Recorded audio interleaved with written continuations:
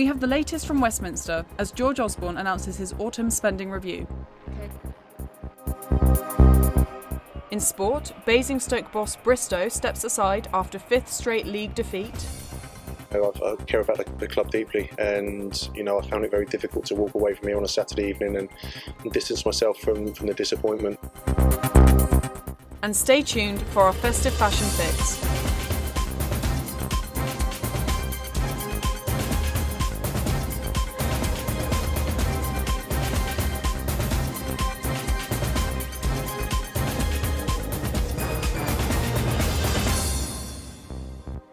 Hello and welcome to Winchester News Online. I'm Amy Best.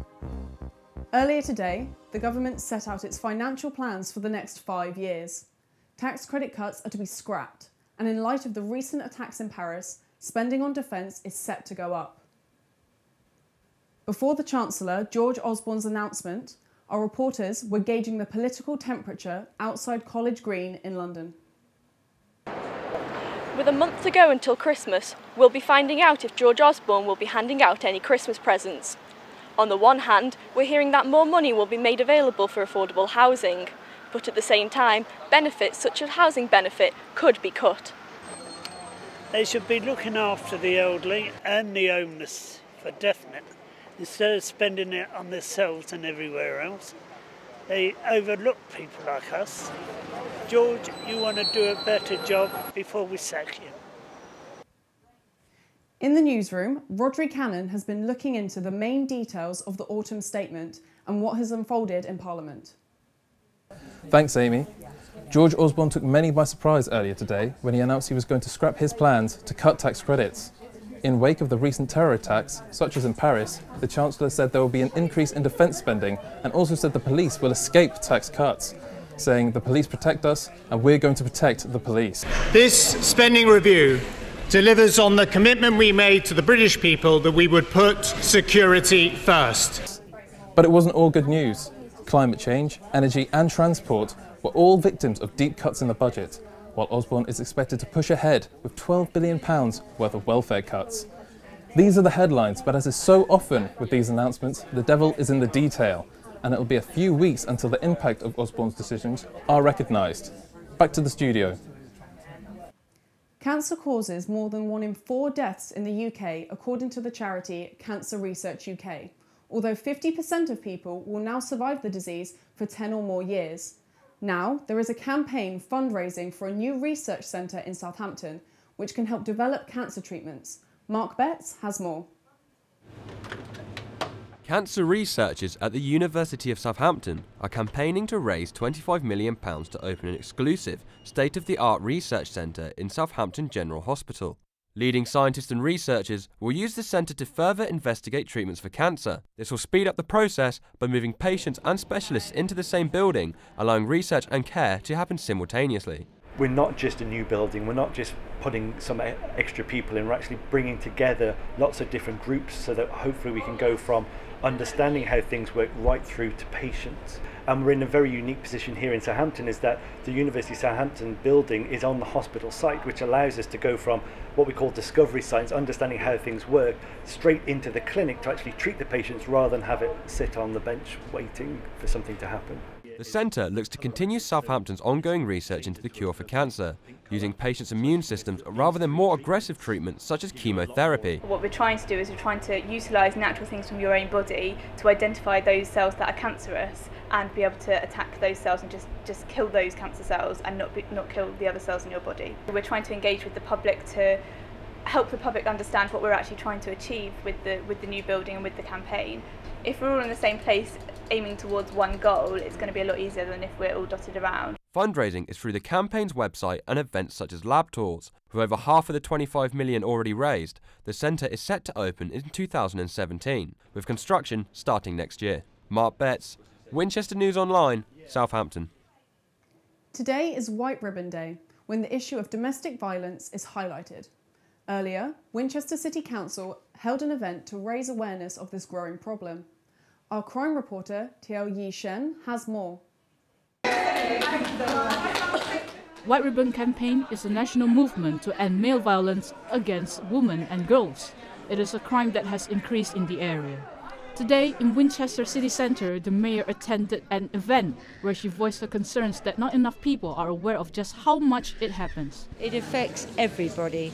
Doesn't matter if you're rich, poor, if you wherever you live, it's going on all the time and I don't think people realise it's out there, it's going on and we really have to understand that. The mayor had one key message. Be vigilant keep an ear and an eye open and please help those poor people that it is affecting. The mayor, councillors, and the police hope events like this will raise awareness to put a stop to domestic violence. Teo Yishan, Winchester News Online. Thousands of people suffer domestic abuse every year. Now, the government is tightening the law in order to support victims. Under a new offence, police officers can take legal action against a suspected offender without any help from the victim. Our crime reporter, Brooke Perriam, has this report. We should warn you that it does include some distressing images. Let's finish with that. No, I'm sorry. I thought you were asleep. Yeah, well, you thought wrong. It's a crime that has been described as life shattering for victims, and one the government hopes to stamp out as they plan a new law to help people who are too scared to come forward to the police. Sarah, not her real name, claims she was in an abusive relationship years ago. She says she is still too afraid to report what happened to her. He was my boyfriend, and he hurt me. The worst time was a blow to the back of the head. I was terrified. It was a very dark time in my life. More than 1.4 million women have suffered domestic abuse in the last year, as well as 700,000 men and in Hampshire alone, over 60,000 people came forward to the police to report the crime. The figures suggest that more people are coming forward to the police, but it's the steps after, when a victim may have to face their offender in court, that can be the hardest. This new law means that in some cases, victims will no longer be required to do that, and officers can put themselves in the witness box on their behalf. Wiltshire Constabulary is just one of the forces preparing for the new offence. One officer thinks it will have a dramatic impact on victims. The control's been taken from them for so long by the perpetrator that by the time we get them to court, they've kind of moved on, they don't want anything to do with it anymore. That we're then trying to make them drag up all over again. So I'm really positive about this offence coming out, and I think it should have a really dramatic impact. Please. I said no. Besides, the new offence is expected to come in within the next few months, which the authorities hope will encourage more people to come forward. Brooke Perriam, Winchester News Online. Recent research has found links between healthy breakfasts and children's school achievements. Letty Buxton looks into why experts think that children shouldn't skip breakfast. Research published this month has found a link between children's performance at school and what they have had for breakfast. I spoke to community manager Alison Murray, who says it makes a huge difference. Uh, they always have uh, fruit, so bananas, apples, pears, oranges every day, uh, toast with butter, jam, and there's always different choice of cereal. In my personal opinion, I would say that yes, it, you know they do achieve higher grades um, and they do well in their school day, their behaviour is better, and they can concentrate more. I think that would be really good uh, across the whole country, in my personal opinion, to have a you know a free breakfast for all children. The results were measured by comparing SATS test results. Fitness professional Lizzie Havers told me about the nutritional importance of breakfast. Breakfast is the most important meal of the day because overnight our body has been fasting and that means that our body's been using sugar to carry out its repair tasks and, and mend itself overnight. I think that the best thing would be to make sure that those breakfast clubs are containing the right foods. Again, make sure they're from wholemeal sources, fresh fruits, fresh vegetables, and not too high in sugar. The research concluded a positive correlation between educational attainment and breakfast consumption. Letty Buxton, Winchester News Online. Bus routes are under threat in Southampton as the City Council opens consultation on next year's budget. The Council proposes to remove the subsidy on the X12, X14, and W1 routes, which would result in the closure of the Shirley service. The plans come amid wider consultations on the 2016 budget, which aims to close a £12 million budget gap. The consultation will close on the 14th of January. With around 350,000 people expected to descend on Winchester for the annual Christmas market, the City Council has warned that parking will be a problem. In March, 351 spaces were lost when the Friars Gate car park in the city centre was closed. Visitors of the Christmas market have complained about this. Winchester Cathedral has said it is working with the City Council to improve parking by encouraging people to come to the market by coach. And marine archaeologists have been diving into the Solent to document forgotten shipwrecks from World War I. They've created 3D maps of the wrecks off the south coast, allowing the public to explore the vessels from the comfort of their own home.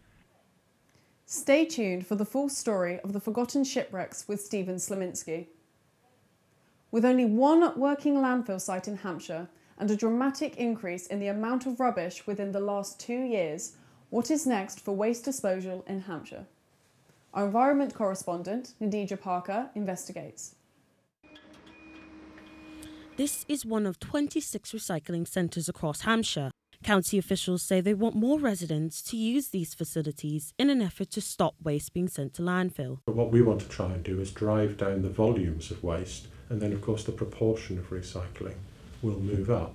And if we can find new markets for materials and new materials that we can recycle, then that can all help. And we want to bring to zero any diversion to landfill. In 2013, over 57,000 tonnes of waste were sent to landfill, and last year these figures increased, with 61,000 tonnes of waste being sent to the site. But local charity WinACC says that more needs to be done. you know, I think people have become complacent about recycling, um, and so we are seeing recycling rates plateauing or dropping. Um, there's a lot of confusion about what can go in the recycling bin and what can't. I mean, much more needs to be done. Winchester City Council and WinACC have recently launched their Great Waste campaign to show creative ways of recycling and plan to hold further campaigns in the next few months. Nadija Parker, Winchester News Online. Make sure you stick around after this bulletin for more from our Live at 5 team. Ryan, what can we expect this week? Well, Amy, you can expect Christmas party fashion, everything that you need to know about Black Friday, and the latest Kate Winslet film review. A local clothes shop in the city centre has become an internet sensation this week after a video submitted by the store has reached over 1 million views. Toby Cruz sizes it up.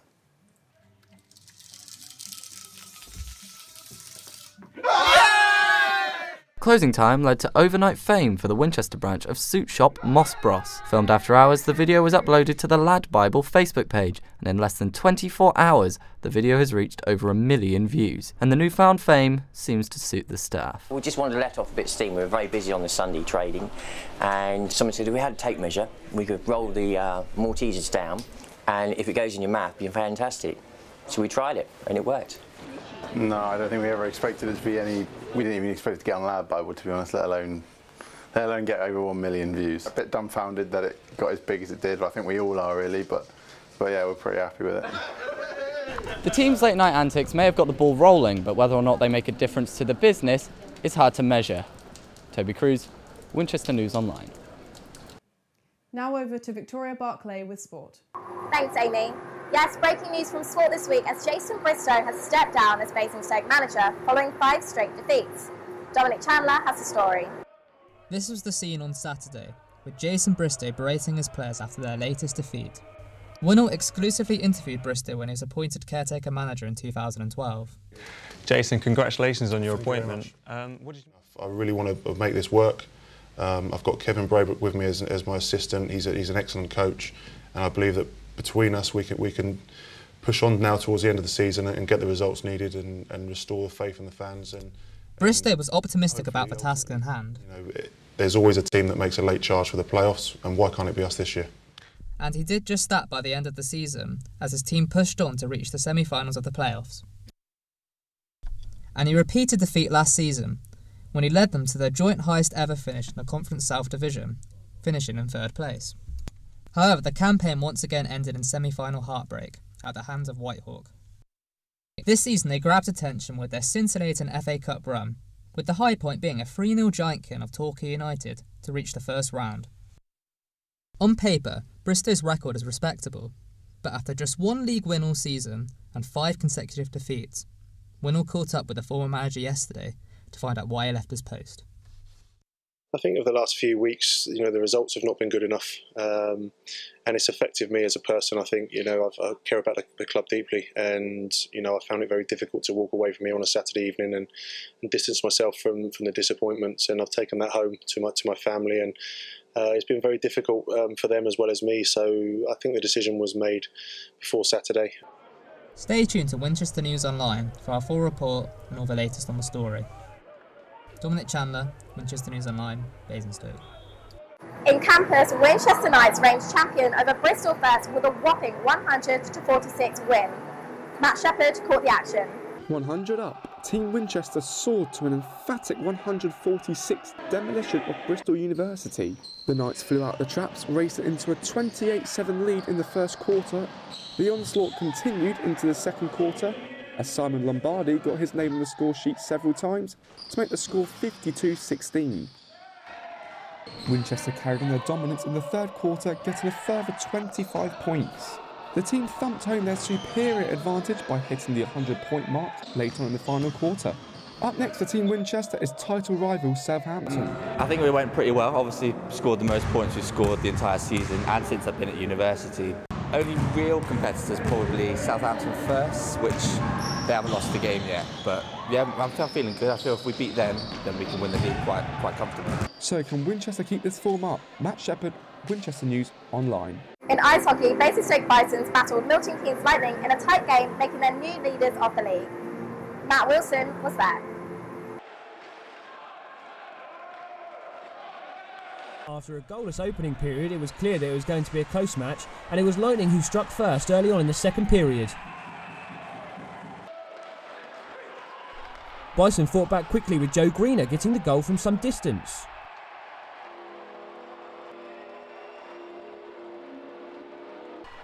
Thomas Karpov put Bison in the lead with an unassisted goal.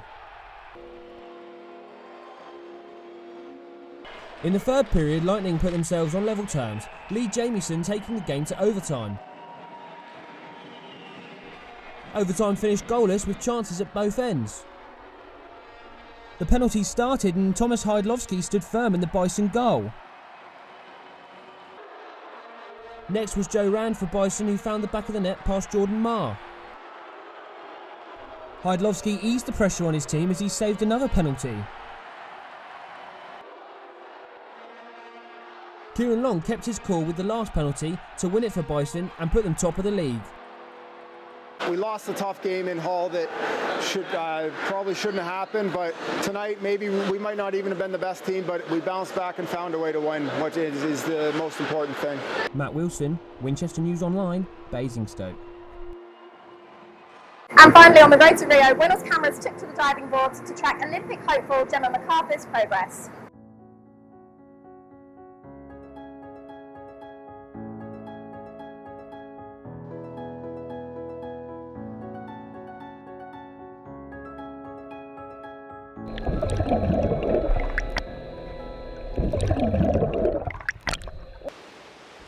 Seventeen-year-old Southampton diver Gemma MacArthur has her sights set on the Olympic Games. She makes the hour and a half long trek to training six days a week and has been doing so for almost half her life.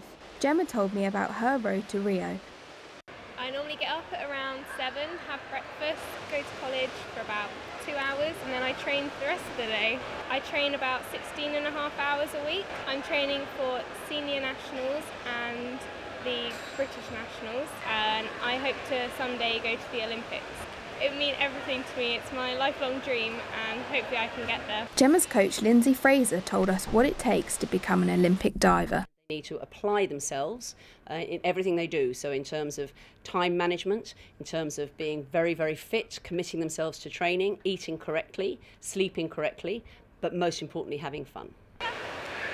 Well, I've been training hard today in Southampton, but it doesn't look like I'm going to be making the 2016 team anytime soon.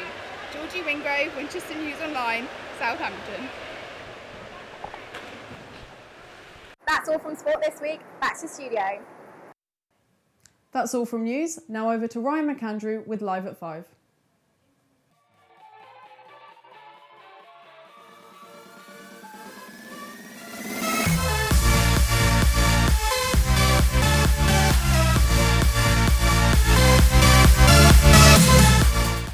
Hello, I'm Ryan McAndrew and welcome to WINOL Live at 5.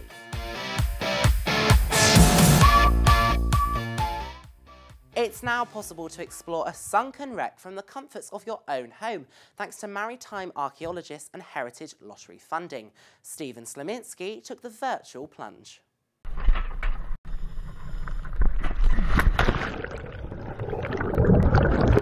Deep under the Solent, divers have been photographing the remains of a First World War naval vessel which has lain undiscovered for almost a hundred years. The John Mitchell was a converted fishing boat which sank off the Isle of Wight in 1917 and it's one of over a thousand wrecks that litter the south coast seabed. Marine archaeologists, with the aid of Heritage Lottery funding, are researching forgotten wrecks of World War I and this week have uploaded a 3D model of the John Mitchell so people at home can explore the wreck online without getting their feet wet. Why is it important to uh, document all these wrecks? It's a fantastic opportunity to actually see a shipwreck on the seabed. If we forget this period of history, and if we don't record it in sufficient detail now while there are still wrecks to actually record, then we may miss the opportunity altogether. Uh, some of these wrecks are now completely falling apart and the model of the John Mitchell demonstrates that what was once a, a, proud fishing vessel is now reduced mainly to its metal components that survive on the seabed. It's really quite an exciting and quite moving experience. So, somewhere out there at sea lie a thousand forgotten wrecks with untold stories still waiting to be uploaded to the website. This is Stephen Slominski for Winchester News Online at Milford-on-Sea. Oscar winning actress Kate Winslet plays an Australian native in her latest film, The Dressmaker. Our film critic, Lynn Arimba Williams, shares with you her top three Kate Winslet films. At number three is the British American period drama Sense and Sensibility. Kate Winslet plays naive and emotion-driven Marianne Dashwood in this Jane Austen classic, a 16-year-old who hits suspicious highs and worrying lows in this film. At number two is Divergent, Based on a novel by Veronica Roth, Divergent is an American futuristic film. Kate Winslet plays a very different role here. We see her as a villain and a manipulative force. At number one is The Holiday. The Holiday is a 2006 rom-com about two women, Kate Winslet and Cameron Diaz. Kate Winslet plays Iris Simpkins, a London-based wedding columnist who is unappreciated by her love interest and desires better. There is much more from our team this week on the website. You'll find an interesting video on the 100th anniversary of Technicolor Films, and with Christmas just around the corner, Sarah Camford has a sweet treat to give any of your loved ones. You can see those over on winol.co.uk. The American phenomenon Black Friday has made its way across the pond. Shops and online retailers slashed their prices for just one day, creating Christmas shopping mayhem. Natasha Hunt brings you some top bargains that you should get your hands on. People across the UK are expected to spend £1.07 billion this Black Friday. I've rounded up some of the best bargains for you to look out for. In at number five is Starbucks offering a buy one get one free on their Christmas blend coffee.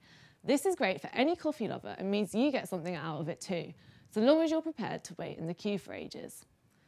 At number four is Amazon's 6-inch Kindle with a glare-free touchscreen. This has gone down from $59.99 to $49.99 and is great for reading on the go. Just remember that you have to pay for any extra books, which can get quite costly. In at three is a Virgin Experience Day from very.co.uk. You can get a pamper day for two at a Bannatyne Spa.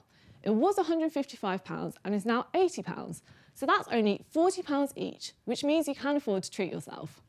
You just need to make sure that you've got someone to take with you. In at number two is from Amazon, a 400 gigabyte PlayStation 4 bundle that comes with Star Wars Battlefront. This comes in at £279.99 with free delivery. The game itself retails at around £40 and the console at around £300.